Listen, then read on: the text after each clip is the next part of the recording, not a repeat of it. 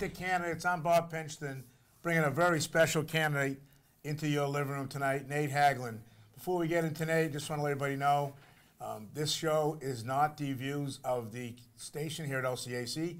It's simply a 30 minute show for the candidate to get his views out there and explain why they're running and nothing more than that. LCAC does not get into endorsing candidates. And with that, Nate, congratulations Thank you very much, Bob. On- It's good to see you. on announcing your candidacy for the Board of School Committee. Uh, four people running. It's great to see. What's great about it is there's no incumbents. Paul McCarthy and uh, Grover Adams are up this year, and neither of them decided to uh, go for re-election. Paul McCarthy's kids are through the system. He's done a great job. Um, if he was still running and Grover is still in, I, I probably wouldn't have uh, put my name in the hat. But since there are no incumbents, I thought it'd be a, uh, a great opportunity to work with the school system. Well, nobody was a bigger volunteer in high school than Nate Hagglund. You graduated in 1996. Uh, you an intern at this station doing camera for us when we started doing our, all our own new shows. Yeah, I was here since the beginning. I remember doing the uh, the uh, the new shows in the morning for the uh, the high school, the old high school, which is now the middle school. Um, been here since Bill May started it um, back in I think it was 1994, and then uh, we started doing the football games with uh, Norman McLeod with Cupcake Productions. Yep. So Oh, uh, yeah, you made that famous. But I coached you as a third grader in soccer. Yeah, yeah. I've been in, born and raised in my town my whole life. Played soccer my whole life here. Got, got the opportunity to coach the boys soccer team um, in the early 2000s. Um, I coached out at Tantasqua, the seventh and eighth graders there for a while, and then of course uh, the past three four years I've been coaching my own boys teams. And you're an excellent golfer, too. Uh, your dad, Hagglund, are, are golfers. Back in the day, I could, I could hit the ball pretty well. I haven't had the opportunity to do much these last few years, but uh, back in the day, um, you know, we used to uh, play on the golf team. Uh, played all four years in high school, Leicester High School. Um, so we had a great time back in the day, but uh, I'm definitely not as uh, as apt now as I was back You're then. making me feel old looking at you now. right? 38 now. God bless. Nate, um, you know, you work in a town as a policeman in Sudbury, a town so different than Leicester. Um, do, you, do you get an advantage by working in a town like that and seeing how their town functions versus Leicester? Well, the, the great thing about Sudbury is it's one of the more wealthy towns in the Commonwealth. So they have a lot of money to throw at the finances. And they do a comprehensive financial report or a CAFR. And I've gone through that in detail. And I think we can take some pieces out of that CAFR report and, and draw some aspects into uh, to our own town's reports, especially in the school system.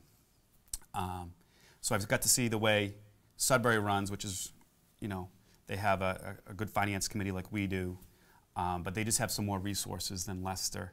They only get uh, six million dollars or six percent of their budget from the state. As I believe we get, you know, a lot more than Right, right. six percent. We're very dependent upon state aid. Why are you running for this position? Well, I first started. Um, I went to a school committee meeting that was uh, caused quite a ruckus in, in town, and I saw um, some of the things that I thought the school committee could improve on. One of those things is um, leadership. I'm trying to run as a leadership candidate. Um, I run on extreme accountability, so it all starts at the top. They set the tone. The school committee sets the tone um, with the superintendent, and hopefully we can have some top-down leadership as well as some bottom-up leadership. Get some feedback back from the uh, the trenches, back up to the school committee through the superintendent um, to make sure that we're going to run um, as best we can for the kids. Right. And of course, the hot item right now, the middle school, um, it just passed a feasibility study on the town floor last Tuesday night. Um, that could go a long way for us to getting a new school. Yeah, it was a great uh, study done. Judy Pagliucci did a great job. She's, she's been doing this for a few years. She had a, uh, a study approved at town meeting a few years ago where they, uh, they set aside $50,000 to review all the schools. So um, a private company came in and did their own independent study um, of all the school systems and recommended either repair or replacement of the middle school. Um, I wasn't able to make one of the tours, but I, I, I saw through one of my friend's fathers how, how poorly um, the middle school has, has deteriorated over the years, which was the high school for me for, for three of the four years. And actually made a call up to uh, Mrs. Nelson, and she was gracious enough, her and Mr. Fontaine, Chris Fontaine, were gracious enough to give me a tour of that school. And the only thing that has changed since I was a student there, um, the I was there the last year that school was, was in service in 1995 um, as a high school, was that it's just gone downhill. The locker rooms are no longer you know, you're no longer able to use those. Of course, there's the asbestos problems and the handicap problems, but those aren't even the start of it. Right. Um, so that, that school's in really poor shape. So So you got to go to the high school for one year, the new high school, which is not really new anymore. It's what, 15 years old? It's, uh, it's more than 15 years, Bob. 96, we're in uh, 2017, it's 21 years old. They just replaced Wow. the roof on it. Um, I was the first graduating class from um, the new Leicester High School. And I remember one of the main points of the debt exclusion um, back when that was first went for it, sometime in 1994, was that the middle school or the old high school was in such poor condition. And then um, we ended up having to use it as, as a middle school. And uh, it just goes to show how fiscally responsible we've been trying to reuse our, our infrastructure, but at the same time, we got to we got to find ways to uh, to improve that school. All right. How do you feel about the kids leaving Leicester? Uh, you know, a lot of Leicester kids go to Tantasqua, um, and some go to Assabet. Um, the graduating class, I don't even think is 100 kids this year, is it? So I'm not exactly sure on the the exact numbers of the graduating class. I do know we take more kids in than we send out. I spoke with um, Dr. Pagliucci about a week and a half ago. She spent an hour, hour and a half with me at her office, and we send more kids. Uh, we take more kids in district than we than we outsource. Um, the the vocational technical schools have become a real prime area for you know the kids. Back when we went to back when I went to school, um, those Voc schools weren't as in, held as in high esteem as they are now. Usually, if you went to a Voc school 20, 21 years ago, you wouldn't be going on to college. But I see a lot of students now that go to the vocational schools, um, especially ours at Assabet, uh, going on going on to college. So they're getting the you know an Right. opportunity. We got to be able to lure them or keep them in district to save that money. Um, the out of district costs are are increasing, which is a which is a big problem. Um, so we got to find ways to to keep those kids in the district. Yeah, I mean, when you see the, the amount of dollars that we have to kick in um, per student for vocational, it's expensive as a taxpayer. It is. It's very expensive a taxpayer, and you know, I, the next year's uh, budget for out of district kids for going to the regional vocational schools are, uh, I think, somewhere over a million dollars. Wow. So that that's a big part of the budget, and we have to provide it, um, as well as the bus and transportation and stuff. Um, it's a great it's a great asset for the town too. With these vocational schools, and to be able to send some of these kids that want different opportunities than what we can offer at the high school. Um, but at the same time, we want to try to keep as many of those kids in the district as possible. Right. You touched upon busing. Uh, do you have any um, ideas on maybe owning our own buses? I mean, it's been talked about, like Oxford does it. Um, or do you think it's the way to go? You know, sign the five-year contracts with the Varneys or the McCarthy's, whoever it may be. Well, right now we're using AA Transportation. They seem to be doing a pretty good job in outsourcing that um, stuff that doesn't directly affect teaching. Outsourcing some of that stuff, I think, is a pretty good idea. Um, it takes some liability off the town. The town aren't owning the, the town doesn't own the buses. Um, it puts more liability on AA Transportation or whomever services our students. So I think it's probably a good idea to outsource um, some of the things. Right. How about special ed? Like, I mean, I know some towns have their own buses for special ed. You know. So, again, I, I believe AA Transportation or some other private companies are servicing um, some of the special ed kids. Right. And, uh, you know, again, I would rather stay with the third party outsourcing on that rather than um, trying to lease, maintain. Yeah, I mean, not many towns do it, but the ones that do it, you know, they say it's very, um, you know, it's profitable. It can be more cost effective, but in the same respect, it can be can have long term costs associated. You have a you know a few major breakdowns on some buses that aren't covered in the leasing contract, or you have a major incident with a major or bad crash. maintenance, whatever it may be. Yeah, yeah. I mean, the, the town's insurance company could be on the hook for some from pretty high premiums, um, and the more accidents we get into, the higher the premiums go for the whole town. So I really think that the outsourcing of the buses is probably the way to go at this point. Right. I mean, you're an athlete, Nate. Um, you played on some pretty bad fields in this town. Um, fields have gotten a little bit better. Um, what do you see as a future for, for the fields in this town? Well, we got to get some um, funding for the fields. The, the Little League does a great job with their fields, but those aren't the fields that our kids play on. Um, they really haven't had much improvement since I went to um, high school here. You know, we're still, you know, a lot of schools have gone to artificial turf fields. I don't know if that's the way to go for us. Those fields are really expensive. Um, so I don't think going with those type of fields, but in the same respect, a little seed and, and, and some more maintenance would be great. The problem is, you know, we have some very skeleton crews at all at all our schools for maintenance. Um, you know, trying to be fiscally responsible. Um, Jim Souza do, does a great job with both tr- transportation. He's the liaison for the bus company in the school. Um, he does a great job with the facilities. Um, but I just don't know if we have the money at this point to be upkeep in the fields. You know, that would be to a, to a Right. different I mean. I mean, like the highway department, obviously the custodial staff is way down. Yeah. Um, they're operating, you know, with a, with almost a skeleton crew.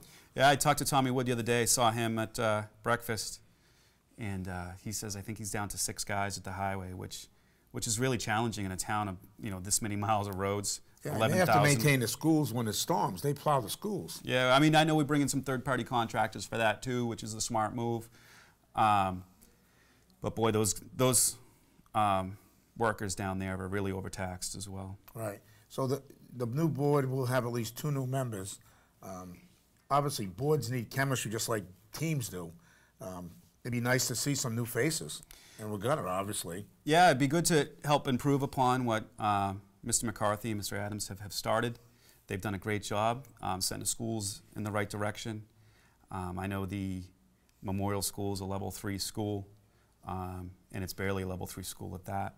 And the different levels are, you know, 80% of schools in Massachusetts are level one or level two, and level three is that, you know, that yellow level um, that that that can be seen as starting to nearly fail, and I want to make sure that we improve the uh, the math and the, the, the scores to, to see us get back to that level two status. And talking with Dr. Pagliucci, she, she's on board with that as well. Um, the school committee needs to be have a unified voice, um, and I want to try to help further upon what Paul and, and Grover have done. Right. School choice um, has gotten less and more kids, is what you're saying, right? School choice, we do a lot more kids in district. We get a lot more kids than we send out. So I believe the numbers are uh, we send out uh, the 25 or so kids, but we get back 50 kids. So uh, we're making out on the school choice. Right. Most of those kids are from. And I mean, uh, everybody talks like it's easy to do, but when you've got unions, the teachers are union employees, the custodians are union employees. Um, you know, you just can't go up and make a sweet deal with them. I mean, they have contracts, have to abide by it. Yeah, so the unions you got to deal with um, negotiating, getting fair contracts for the teachers, for the custodians, for the nurses. Um, they all need fair contracts. I mean, we have to attract and retain good employees. That that's going to be part of the deal. Is you want to have good quality schools, you have to have good quality employees. But in the same respect, you don't want to be uh, overpaying those employees either. Um, as a union employee myself, I've negotiated a few contracts um, on the employee side, on the union side. So it'll be interesting to uh, start doing some contracts on, on the other side. I know the school just settled their contract, the teachers just settled their contract, um, which should, should take effect in July. The superintendent's contract is up um, the following July, so that's going to be have to be something that's dealt with. Um, uh, uh, the superintendent's contracts. Right. The new uh, town administrator, though, you've got tough shoes to fill. Um, Kevin Mizikar did a great job um, getting involved with the school budget with Judy Pagliucci, if I'm if I'm saying the name right. Right. Yeah, Kevin Mizikar did a great job. He brought us from uh, deficit deficit spending to having a, a pretty good stabilization fund in just four years. Um, it's really unfortunate that we're gonna that we're gonna lose him um, to Shrewsbury. We wish him the best of luck. He's done a great job. Um, hopefully, we can find a good quality up and comer um, that that can kind of fill his shoes. He, he's got a lot of policies and procedures. Hopefully, that he's going to leave um, the, the new the new uh, male or female or whomever we hire to uh, to fill those shoes. I mean, this is a great town. eh, you know, yeah, the same people um, volunteer and all that, but it, there's a lot of young people moving in. Um, they're hungry to get involved on on all of these boards, and it's great to see you know you running and Tammy Tebow running. Um, you know, we got some people running for selectmen. A couple years ago, we had a lot of unopposed, you know, seats, and it wasn't very fun. No, this is this is really interesting this year. There's four um, candidates for two positions on school committee. Um, I know Tammy Tebow. I know Ellen Dolan. Um, I've met Joe Richardson. Um, they all seem, you know, like nice candidates. I, like I said, I went to school with Tammy, um, and I met Ellen through you know, parent pickup at the primary school, picking up my my sons. So Rochdale could be the, uh, the key uh, part of town, the Roch- little village. Rochdale is going to be uh, precinct three is going to be a big key to uh, to the election. Seeing our Paquette's not running for anything now. No, I don't think our Pickett's ever running for anything, but he's doing a good job running LCAC TV. You know, Nate, uh, it, it, you're looking at you now, and you know you, you've been so successful, and you know you you volunteered a lot, and here you are running um, for an office now. Yeah, it's about time. I've been volunteering um, for different functions here and there my whole my whole life. Recently, we've we've gotten involved with um, Cops for Kids with Cancer, and what we try to do is we try to raise money um, so kids can focus on fighting the disease, the, the horrific disease of cancer, um, instead of worrying about the financial part and the families. And and we literally, the uh, the great thing about this charity that we do is there's a lot of great charities out there, and they're all fantastic. Um, Dana Farber PMC Challenge, um, the Jimmy Fund, they all support research. And research is absolutely needed. But a lot of times, what's forgotten about are the actual individual families. You've got to go into Boston, you got to go into Mass General or uh, the Children's Hospital for treatment. You got to pay for parking. Uh, parents want to get a, a coffee on the way in, or they while the child's getting a treatment, or an overnight stay, or a week stay. They got to pay for food, lodging, all sorts of bills that you gas, tolls, um, all sorts of bills that you know you don't really think would add up to a lot, but just one stay in Boston is really expensive. So the charity I've been working with, um, we give money directly to the families so that they can help offset some of those costs. Hey, May 22nd is coming up uh, pretty quick. Yeah, it's going to be one year. And I mean, Ron was so involved in this town. I know you knew him well. Uh, you know, talk about somebody who volunteered. Yeah, Ronnie was a great guy. Um, you know, it still breaks my heart knowing that that year is coming up. So he did a lot of things with the uh, with cleaning up the town on on Earth Day, um, and just one of the greatest guys you'll ever meet. So We saw you in the, at the road race. what's that? We saw you at the road race. Yeah, I was there. My whole family was there. It was my uh, my boy's first 5K, so we all walked it. What a Um, it was turnout, huh? It was awesome. It was fantastic to see uh, the support of the community for Ronnie, and uh, the support of the community for Ronnie's been great. Um, I got to see him a few weeks before he passed. Had had a great conversation with him, and all he could talk about was his family and uh, and the job. And uh, you know, Spencer was graduating two Yeah. weeks. You know. yeah, Ronnie was something special. Now, what distinguishes you from the other three candidates? You think? Well, I think I have a lot of leadership experience. I've been a supervisor in Sudbury for seven years. Um, I've done grant writing. Um, I've done some budgeting. Um, I'm the only one that's um, going for my master's in public administration um, through Anna Maria College, which is it's a real hard program, the MPA program there. Um, hopefully, going to be graduating December, January from that program. Currently in the sixth of my ten classes. We've done a lot of government, municipal finance stuff in that class.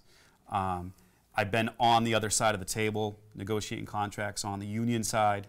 Um, so I understand how to negotiate contracts, um, drive policy. I've come up with different policies over the years for our, for our own police department.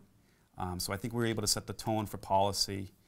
Um, so I think those are some of the things that, that set me apart from some of the other candidates. Right. Can you explain the feasibility study? Uh, you know, you went to the mic. You asked a great question. I thought that night. Um, can you talk about that? I mean, we get a percentage of the money back if we don't build a new school. So on the feasibility study, um, since we passed it, we, we get ranked through the MSBA, um, the Mass School Building Authority. They're an independent agency. They get money from, um, I believe it's one penny off of every uh, six and a quarter percent dollar. So they get one, one penny off of the six and a quarter percent sales tax. And they, all that money is pooled together. Schools will go apply for um, different type of different type of funding. In this case, we've we've applied to uh, do a feasibility study to see whether or not we should repair or replace a school. Additionally, the MSBA ranks all the uh, the districts on the reimbursement ability. So some towns may be as low as 20%. So those are the really well-off towns that are really well-off financially. 20% um, will be the reimbursement that they get. Other towns are as much as 82% um, reimbursement. So we're somewhere in the middle. We're somewhere around 59 to 62% reimbursement. Um, and the feasibility study should cost somewhere around 500,000. So we should get at least 60% of that back um, from the MSBA, and that'll keep us in line to either repair or replace um, that middle school based upon the feasibility study. How long do these committees usually take before they make a final decision? I think it's going to roll pretty quick. Um, we have to submit for the funding, I believe, for, within uh, nine months or 270 days.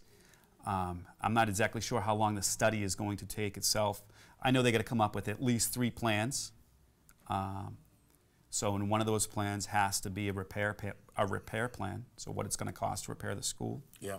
And part of that, if, if we repair the school, um, if we go over $1.8 million in repair costs, we have to bring the school up to all current building codes.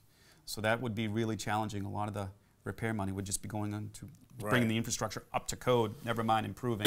Excuse me. so then they're going to come up with at least two other replacement plans um, for the school, in which, again, will fall somewhere between that 59, 61, 62% reimbursement from the state um, if we went ahead and repaired Now, does the the school. feasibility committee pick the site of a new school? Or is that up to the town to pick? So I'm not exactly sure, right? I know there's going to be 15 community members on the feasibility study. Um, you know, one's from the selectman's office, one school committee member, um, a bunch of different members from the different boards in town. There's going to be four independent voices um, that they're going to seek from uh, taxpayers. Um, but it's going to be a 15-member board. They're going to try to figure out um, the direction to go to go in. Right. Now, I'm on Parks and Rec. Um, we have had at least one member of school committee as a liaison to our committee. Would you be interested in being a liaison to Parks and Rec? Yeah, part of being a school committee um, is being liaisons to other committees. Right. Right? Being liaisons to other boards, especially when what the school affects. we had Grover, yeah, Grover's a great guy. and we had Tommy right now. Yeah, and, um, yeah, so absolutely. The uh, part of being that school committee is not just going to the school committee meetings and, and, and focusing on just the school or just the feasibility study or just repair or replace. It's the whole community. And part of that is we use those fields. So part of that's going to be park and rec. So yeah, Yeah. absolutely. I mean, I don't, I don't know if you know like how it works, but like, um, the school department lets Parks and Rec use their gym for basketball, and then the high school baseball team uses, you know, the parks, the field that's under Parks and Rec. So we kind of do what you call swaps. You know what I mean? Even though it's the same town, um, some fields are under Parks and Rec, some fields are under school department. Right. But we all get along, and it works out great. Yeah, it, it shows the interdepartmental uh, cooperation that we have. Yep. So, A lot of people don't realize it, but it's the way it works. and I'm sure the user fees for uh, the sports teams are going for the repair and maintenance of those fields. Yep. So, I mean, Highway uh, does a lot that people don't even know about in this town as far as keeping these fields safe and, you know, the upkeeps. Uh, yeah, Tom, we'd love to have a few more guys, maybe one guy he could just devote to fields. yeah, it'd be great. Right now, impossible. It's, it's not funded. Yeah, no, it's um, the highway department's definitely on a skeleton crew.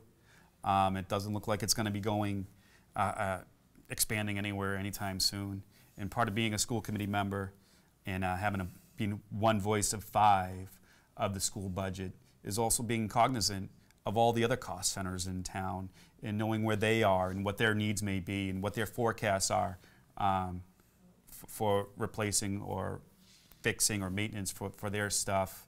Um, one of the things in, they do in uh, the town I work in is they forecast, they have a whole spreadsheet, and I haven't seen one here yet, of the lifespan of, we'll say, the boiler at the middle school and the roof at the high school in uh, this piece of infrastructure, that piece of infrastructure. And it's written in a master plan.